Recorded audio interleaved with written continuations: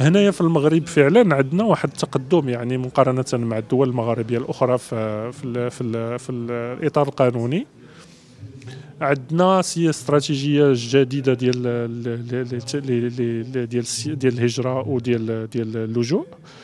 آه، في الجانب ديال الإطار القانوني باقي عندنا واحد المجموعة ديال الأمور اللي خاصها توفر. باش يكون ضبط ديال السلوكات التمييزية من طرف الأجهزة ديال الدولة. الشكايات آه، اللي تيقدموها مثلا سود آه، تم تم تعتبروا بأنهم تم يعني تجريح ديالهم على أساس عنصري أو لا تم ممارسة التمييز عليهم. لا يتم متابعتها بشكل كافي. الدليل هو أنه وزارة الداخلية غير قادرة على أن تخرج أرقام ديال الشكايات التي تم التوصل بها.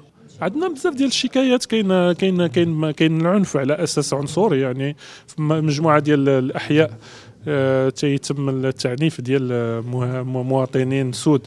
لا لشيء للون ديالهم هادو تبعناهم وملي مشينا باش نواكبوهم أمام السلطات يعني خاصة في حي التقدم وجي 5 باش نعطيك أنا بالضبط يعني الحي... ما لم يتم التفاعل مع هذه الشكايات. عندنا مثلا شكايات ديال الامتناع عن الكراء لأن ال...